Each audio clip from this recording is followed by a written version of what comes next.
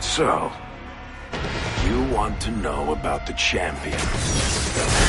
Well, what makes you think I know the truth? Don't lie to me. You knew him even before he became the champion. The entire world on the brink of war.